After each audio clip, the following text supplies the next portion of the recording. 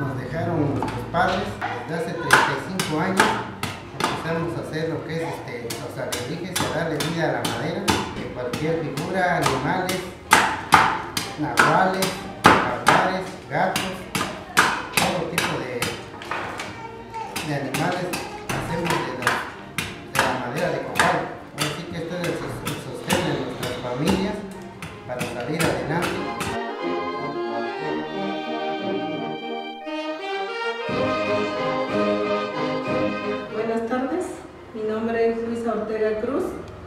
soy originaria de San Martín Tilcajete. Me dedico a la artesanía desde muy pequeña y hasta ahorita. Pertenezco a una organización que somos la Casa de las Artesanías de Oaxaca. Vamos a cumplir ya 18 años de convivir con, con todos mis compañeros. Quiero este, enseñarles lo que es mi trabajo, que es la madera tallada a mano, decorada a mano también. Es una herencia cultural que nos dejan nuestros abuelos, nuestros padres y ahorita pues enseñarle a los hijos. Aquí en mi pueblo festejamos el carnaval y todos los pobladores hacemos nuestro propio disfraz para participar en el carnaval. De ahí surge lo que es la, las diferentes, los diferentes animales que nosotros producimos.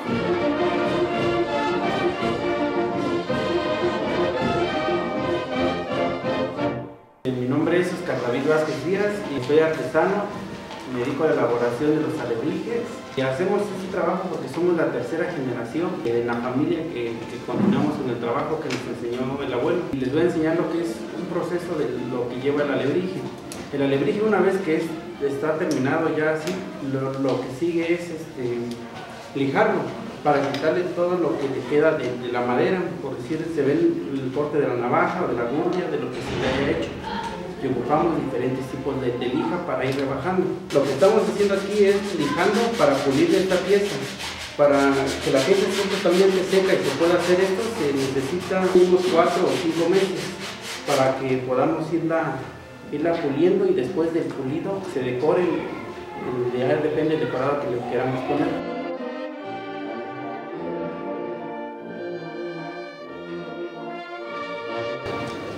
¿Qué tal? Buenos días, mi nombre es Pedro Mendoza Ortega, soy oriundo de la población de San Martín de Cajete. Nosotros en este instante estamos aplicando lo que es el resanador. El resanador es uno de los procedimientos, el resan es uno de los procedimientos este, intermedios en los cuales, posterior a la lijada, a la tallada y a lo demás, empezamos a dejar secar la pieza y cuando seca la pieza empieza a agrietar.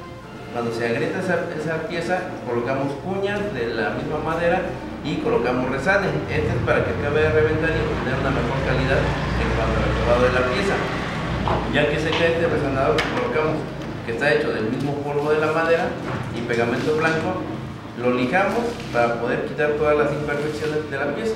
Nosotros somos oriundos de la población, sin embargo, radicamos en la ciudad de Oaxaca y gracias a que tenemos este, eh, la posibilidad de estar cerca de otros talleres con otros amigos, hemos interactuado en la realización de piezas de mayor formato, diferentes materiales como lo es la fibra de vidrio, la cerámica, la cartonería, en la rama en la cual incursionamos también con la especialidad de gran, de gran formato. Pertenecemos a lo que es la organización Maestros Oaxaqueños del Arte Popular y Manos Herederas, eh, que tienen como sede la Casa de las Artesanías de Oaxaca.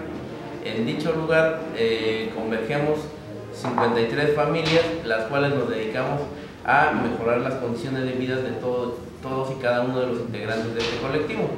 En este colectivo tenemos este, la consigna conservar y difundir todo lo que es nuestro crecer artesanal de, del estado de Oaxaca y compartirlo con el mundo y compartirlo con las nuevas generaciones de todos los visitantes que asisten aquí a nuestro estado.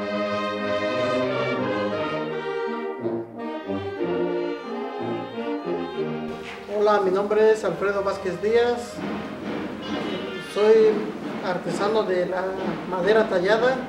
Me dedico a hacer alebrijes. Vengo de una familia de artesanos donde se dedican a la madera tallada. Soy originario de San Pedro Tabiche, el lugar donde se hacen los alebrijes. Yo los alebrijes los empecé a hacer a la edad de los 8 años. Fue que me enseñó mi papá a hacer las piezas, empezar a elaborarlas.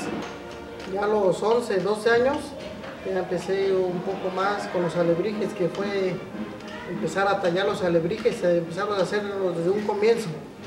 Empezaba a hacer piezas pequeñas ya con el tiempo me fui este, especializando con algunas piezas grandes, unas piezas medianas, hago de varios tipos de, alebrijes.